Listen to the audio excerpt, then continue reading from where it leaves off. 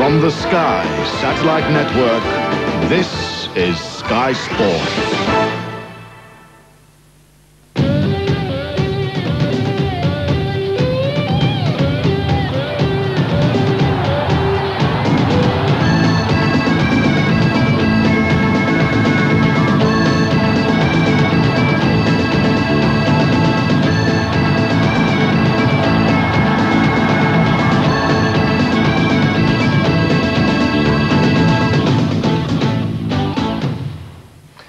Hello, Scottish football is back and so is Tartan Extra in a new...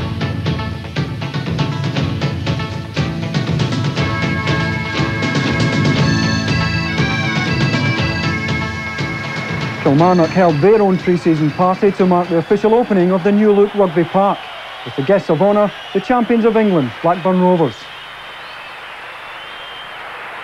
The party went a bit flat as the result of a 5-0 defeat, but at least with refurbishment complete, Kilmarnock can concentrate on improving things on the field.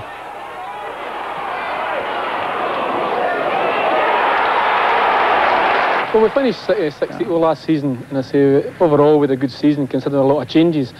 But like every other manager, you want to improve on that. So, I mean, success for Kilmarnock, I would say, obviously be a cup of some sort, and uh, probably qualifying for Europe. After paying £340,000 for striker Paul Wright from St Johnstone in March, Totten has had no cash to spend this summer, but he's not complaining. Well, I think every new manager obviously wants to, to get new faces, as simple as that, and you always want to improve. You're never satisfied uh, with your present squad, but to be fair, the, the, the chairman and the board of directors here, I say that they paid three and a half million for the three new stands. They gave us money last season, so at the moment uh, there's not money available to sign new players. So, but I think a lot of clubs are in the same boat really, and uh, it's a case of just getting on with what we've got.